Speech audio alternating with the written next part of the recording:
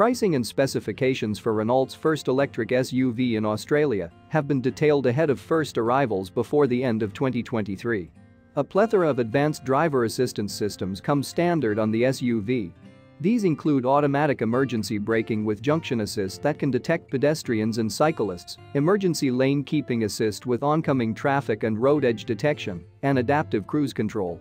All models also come with a smart rear view camera and a driver drowsiness alert system.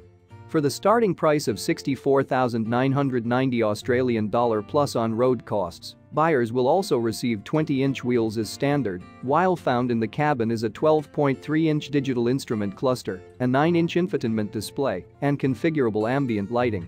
There is also a 6-speaker audio system, wireless smartphone charging, and both Apple CarPlay and Android Auto.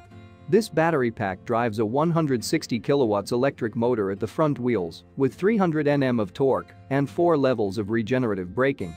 The French brand is particularly proud of the fact that the Megane E-Tech's battery pack doesn't not use rare earth metals and that it will consume 15.6 kilowatt-hours 100 kilometers, enough to give it a WLTP range of 454 kilometers.